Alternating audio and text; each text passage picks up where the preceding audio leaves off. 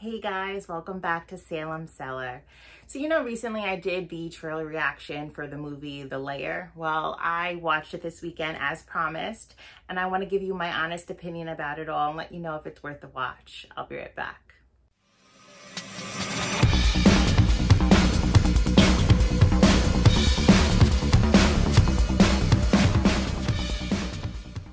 This movie was written and directed by Neil Marshall. It's starring Jonathan Howard and Charlotte Kirk. Charlotte plays Kate Sinclair, who is a Air Force pilot. Now, while flying over Afghanistan, she is shot down. She discovers a abandoned bunker, and inside the bunker is these man-made weapons that are like half human, half alien, right? Sounds extremely interesting. So I went into this after watching the trailer. The trailer, I definitely got um, some Resident Evil vibes, maybe a little thing thrown in there. And the story just sounded really interesting. Now, as a fan of Neil Marshall, I came in with kind of high expectations. I'm just such a fan of the Descent movies. But I feel like this one kind of dropped the ball for me. Um, and let's just start with the lines. There's a lot of cheesy lines thrown in there. Um, were almost comical at times. The CGI was a kind of bad. It looks like a man. Like when you see the monsters, it kind of looked like a slimy man dressed in a suit, you know. And the monsters were very reminiscent to, like I said, Resident Evil. Um, the acting didn't do it for me. The, the plot and the storyline was amazing and it had so much potential, but I think they kind of dropped the ball. Now, I'm not saying I hated the movie. I didn't dislike it. It wasn't horrible. It just wasn't up to, I think, Neil Marshall's, you know, like level. I, there's a lot of holes in the story.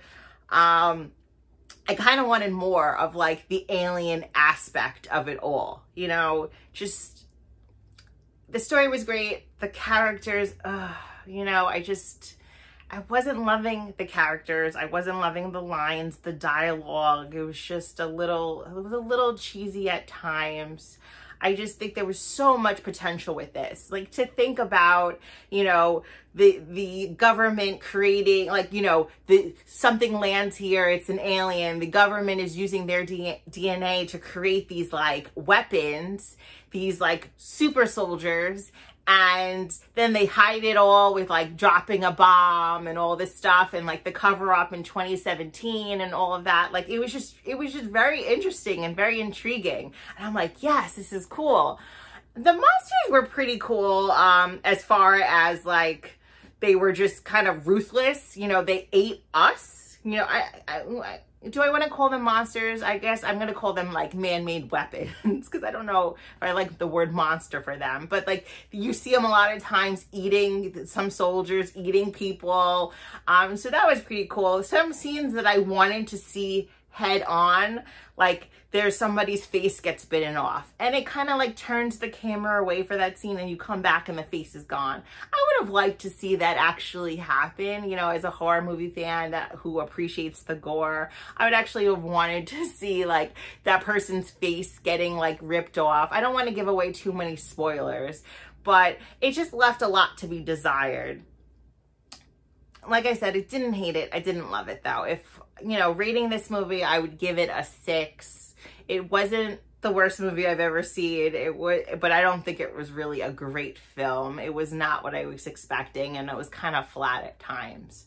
Do I think it's worth the purchase? Because right now it's streaming on Amazon. Um, you do have to pay for it.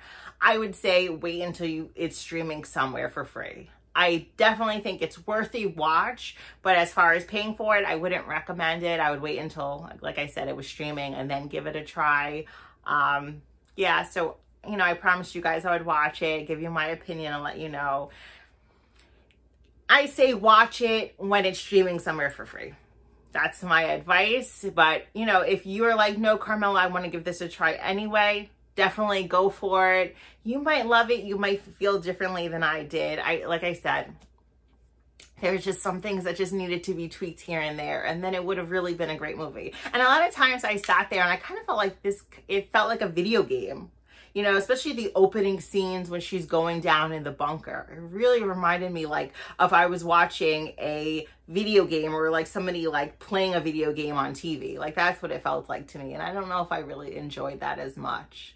But comment down below. Let me know if you've seen this movie. I know a few people commented originally when I did the trailer reaction that they did see it. You know, it was a lot of mixed reviews. Some people loved it and some people were like, nope, you know, kind of felt like how I felt about it. But let me know how you're feeling and if you're going to give it a try either way. As always, guys, thank you so much for watching. I'll be right back.